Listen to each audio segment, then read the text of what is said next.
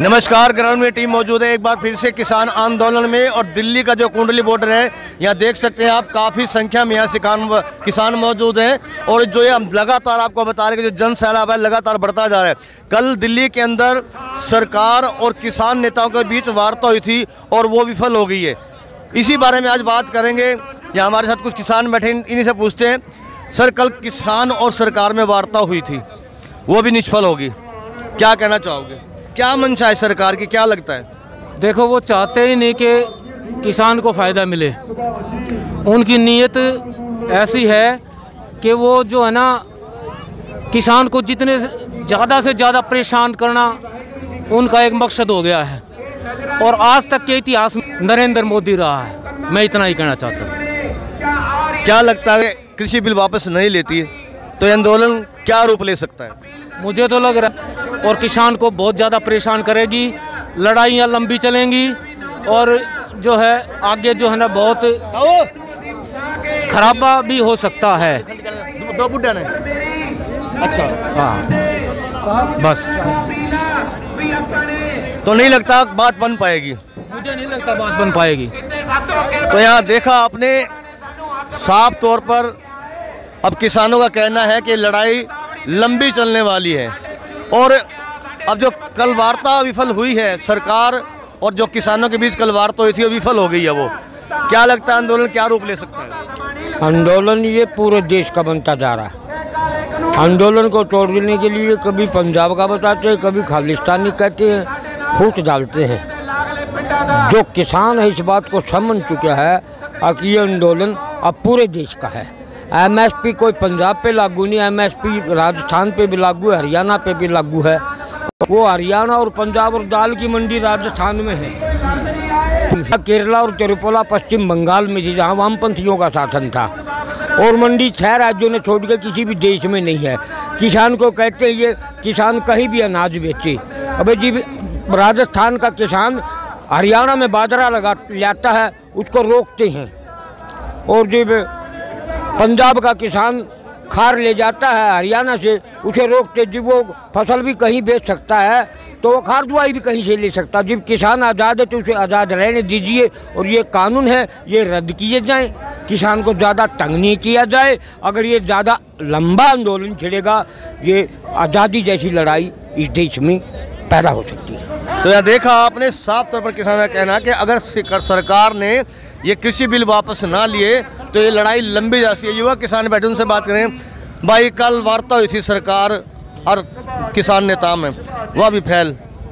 अब के रूप लेगा आंदोलन? कल की वार्ता की और इंतज़ार करेंगे हम कि कल क्या रहेगा। उसके बाद नहीं जो कल हुई थी वो तो फेल होगी ना। ये तो वार्ताओं का दौर तो चलता है सर। धीरे धीरे सोल्यूशन निकलेगा इस चीज़ का। ये तो वार्ता तो कई होली इससे पहले भी लेकिन कोई निष्कर्ष तो निकला इसका? देखो ये निकम्मी सरकार है और ढीठ सरकार है। धीरे धीरे मान जाएगी लेकिन मानने की ज़रूर झूठे लालसे दे रहे हैं सरकार कितने दिन हो? लिए इनकी एक आदत है झूठ बोलने की। इतनी झूठी सरकार हमने नहीं देखी। इतनी सरकार आई है सत्तर साल के पचहत्तर साल के हो लिए हम। अब इतनी झूठ बोलने वाली सरकार हमने नहीं देखी। अब जो कह दिया, सुबह झूठ निकलेगी वह बात। लोगों को शवाए भगा गए उनका उल्लू बनाने के और दूसरा काम बिल्कुल नहीं। झूठ सपान बोलना। अब ये कहें कि हमने एम एस पी लगा रखा है। बीस परसेंट फ़सल खरीदते नहीं ओडे बहाने। ये गिल्ली है, सूखी होता इसमें वज़न नहीं। अंदर चावल तो उतना ही है धान में ऊपर से पटू सूखा है। लेकिन अब ये मंदा एक दूसरे की तरफ़ लखाओगे व्यापारी मतलब किसान की जान काटने को खड़े हैं। अच्छा फ़सल का भाव कम फ़सल के एक महीने के बाद पाँच सौ रुपये कुंटल ज़्यादा फिर क्या हो जाए खरीदते नहीं इसमें कबाड़ है इसमें ये है इसमें वो है। किसान मरे तो मरे कड़े मरे के ਗਲਤ ਤਰ੍ਹਾਂ ਦੱਬੇ ਪੜੇ ਹੈ ਸਰਕਾਰ ਦੇਖੋ ਕਿਸਾਨ ਤਾਂ ਇੱਥੇ ਆਪਣੀ ਮੰਗਾਂ ਮਨਾਉਣੇ ਵਾਸਤੇ ਅੜੇ ਪਏ ਆ ਸਰਕਾਰ ਨੂੰ ਝੁਕਣਾ ਪਊਗਾ। ਪੂਰੇ ਵਰਲਡ ਦੇ ਵਿੱਚ ਇਹ ਖਬਰਾਂ ਪਹੁੰਚ ਚੁੱਕੀਆਂ। ਬਾਹਰਲੇ ਦੇਸ਼ਾਂ ਵਿੱਚ ਕੈਨੇਡਾ ਅਮਰੀਕਾ ਆਸਟ੍ਰੇਲੀਆ ਸਾਰੇ ਲਾਈਵ ਚੱਲ ਰਿਹਾ ਇਹ। ਮੋਦੀ ਇਹ ਨਾ ਸਮਝੇ ਵੀ ਮੈਂ ਇਹ ਕਾਨੂੰਨ ਰੱਦ ਨਹੀਂ ਕਰਨੇ ਹੈਗੇ। ਇਹ ਰੱਦ ਹੋਣਗੇ। ਸਾਰੇ ਦੇਸ਼ਾਂ ਦਾ ਕਿਸਾਨਾਂ ਨੂੰ ਸਮਰਥਨ ਮਿਲ ਰਿਹਾ ਹੈ। ਔਰ ਕਿਸਾਨ ਕਹਿੰਦੇ ਆ, ਅਸੀਂ ਆਪਣੀਆਂ, ਜਿਹੜੇ ਸਾਡੇ ਕਾਨੂੰਨ ਆ, ਵਾਪਸ ਕਰ ਲਾ, ਸਾਡੀਆਂ ਮੰਗਾਂ ਮੰਨ ਲਾ। ਹੋਰ ਤਾਂ ਕੋਈ ਨਹੀਂਗਾ, ਮੋਦੀ ਮੰਨਦਾ ਨਹੀਂ ਹਾਲੇ, ਮੋਦੀ ਮੰਨੂਗਾ। ਜਦ ਪੂਰਾ ਬਿਲਕੁਲ ਨਹੀਂ, ਅਸੀਂ ਮਨਾਵਾਂਗੇ ਇਹਨੂੰ। ਮਨਾਉਂਗੇ ਕਿਸਾਨ, ਸਾਰੇ ਇੰਡੀਆ ਦਾ ਕਿਸਾਨ ਮਨਾਊਗਾ ਇਹਨੂੰ। ਇਹਨੂੰ ਮੰਨਣਾ ਪੈਣਾ ਹੈ ਇਹਨੂੰ। ਸਾਡਾ ਇੱਕੋ ਇੱਕੋ, ਇੱਕ ਸਾਡੀ ਮੰਗ ਆ, ਭਾਈ ਕਾਨੂੰਨਾਂ ਨੂੰ ਕਾਲੇ ਨੂੰ ਵਾਪਸ ਲੈ ਲੈ। ਕਿਉਂ ਤੂੰ ਆਪਣੇ ਅੜ ਰਿਹਾ ਕਿਸਾਨਾਂ ਅੱਗੇ? ਅੰਨਦਾਤੇ ਮੂਰੇ ਅੰਨਦਾਤੇ ਮੂਰੇ ਹਰ ਇੱਕ ਝੁਕ ਜਾਂਦਾ, ਤੂੰ ਵੀ ਝੁਕ ਜਾ। ਇਹ ਨਹੀਂ ਝੁਕੇ ਹੁਣ ਚੁਕਾ ਕੇ ਹਟਣਗੇ ਕਿਸਾਨਾਂ ਨੇ ਕਸਮਾਂ ਖਾ ਲੀਆਂ ਅਸੀਂ ਤਾਂ ਹੀ ਜਾਵਾਂਗੇ ਘਰ ਨੂੰ ਵਾਪਸ ਜੇ ਤੂੰ ਕਾਨੂੰਨ ਰੱਦ ਕਰੂੰਗਾ ਬਸ ਸਾਰਾ किसान मोदी ये बात कह रहा है मैं बता रहा था सोना दे रहा और वो सोना कट्टा हमारे कर लोना है उस सोने की धार काट देंगे हम सब रहेगी तो सोना ले लो लेगा जी हमारे कार काट देगा मेरे ये फायदा ही नहीं उसमें टोटा टोटा है कल भी वार्ता विफल होगी कल की भी देखेंगे फिर अगली देख लेंगे नहीं काल वाली भी होली फैल जो कल होनी थी अच्छा कल हुई है एक तारीख वो तो ही गई। कल विज्ञान बल में बुलाए थे। कल किया है ना फिर वार्ता? हाँ, कल की भी है। कल के बाल फिर आगे देखेंगे। लड़ाई तो चलेगी। भूखे मरा चाहे भूखे की मरा हाथ पहुँचे नहीं। आम की भूखे मरा भाई? देख लो कितने दे रहे भाई? ठीक है ऐसा रहा आगे छोड़ देंगे। पूरा जब्ता बाँध दिया। जिम किसान चलावा नहीं। वो झुका है। और जो दूध काटे नहीं दूध वो जिम भी झुका है। जो झुकना जानता है नहीं वो झुकाना भी जानता है। जो झुकना जानता है वो झुकाना भी जानता है। तब काल वाला भी सिस्टम फैल हो ले विज्ञान भवन में हुआ था। किसाना कर सरकार का। ये क्यों करके लागे किस बल बैठे की बात? भाई इतने इतने दिन तोड़ी कितने दिन किसानों को सड़कों पे बिठा लो तो इतने थोड़ी तीनों काले कानून ये रद्द नहीं होए तो किसान वापस जाने वाले नहीं है। इनको रद्द करवा के फिर किसान वापस जाएगा क्योंकि ये एक मसला किसान की पेट की पेट की रो, रोजी रोटी के लिए है। मैं कहना चाहता हूँ इस भारत सरकार को इस बीजेपी सरकार को कि अब पूरे भारत का किसान एक और पूरे भारत के किसान ये समझ चुके हैं कि ये काला कानून सिर्फ़ व्यापारियों के लिए उनको फ़ायदा पहुँचाने के लिए लाया गया है। और अगर सरकार नहीं मानेगी तो पूरे भारत के किसान अब पूरा भारत बंद बोल भाई। भाई मोदी ने तो मानना पड़ेगा। चाहे आज मान जो तो दस दिन पाछा मान दो। ये अभी तक तो कल मीटिंग थी। अभी तक तो मोदी सरकार दे रही है लॉलीपॉप इब नहीं दस दिन उसने मानना पड़ेगा। ईब आगे ही मीटिंग करेगी।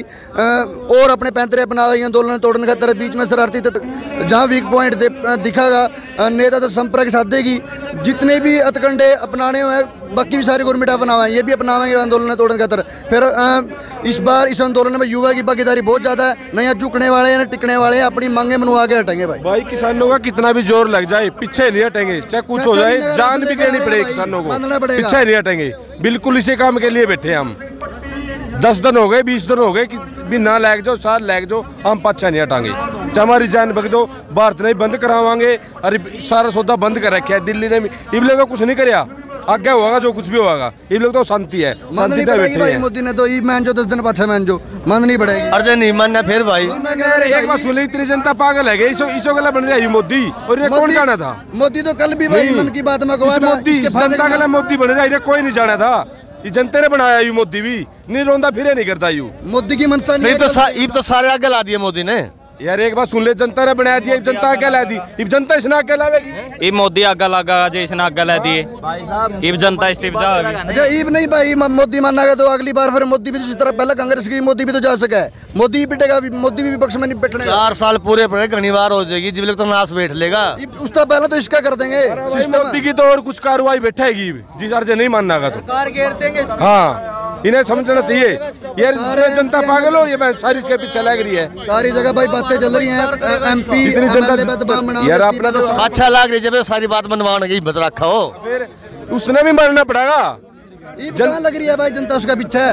यो जनता पीछे लगी होती गई हो। यो किसान तो लग रहे किसान तो किसान वर्ग तो मार दिया मैं बिल्कुल ही। किसान वर्ग तो मार दिया जनता तो उस हिसाब से पीछे लग रही है। अब यो हिंदू है यो मुस्लिम है अ, मतलब इनके यही राजनीतिक पैंतरे हुए हैं। जनता तो इस हिसाब से थोड़ी बहुत ही वो रहेगी। और इस तरह इस तरह माहौल देखा किसान में तो भाई छत्ती बिरादरी है। मानने के नहीं। नहीं मानते भाई अपनी मांग बनवा के मानेंगे।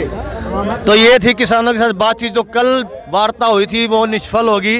और किसान काफ़ी रोशित है। किसान ठान लेने में मर जाएँगे भाई। कानून उल्टे करा के छोड़ देंगे। यही बात है ना। तो बने रहो ग्राउंड मीडिया के साथ। ग्राउंड मीडिया से मैं हरीश कपूर दिल्ली किसान आंदोलन कुंडली बॉर्डर से।